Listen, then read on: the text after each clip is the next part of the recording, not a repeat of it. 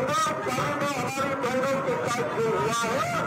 कम से कम माताओं बहने इसको सहन न करो। इसका जवाब मुस्कान के अंदर दो और इनको सबक सिखाई भाइयों बहना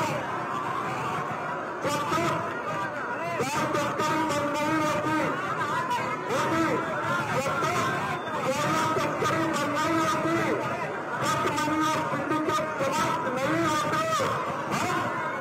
भारतीय जनता पार्टी के कार्यकर्ता सांस नहीं धमकी सांस नहीं देंगे हमारा आंदोलन आगे रहेगा एक भारत श्रेष्ठ दो। मैं आपको वादा करता हूँ जैसे कांग्रेस शुरू हो गया कि ममता दीदी की तृणमूल कांग्रेस की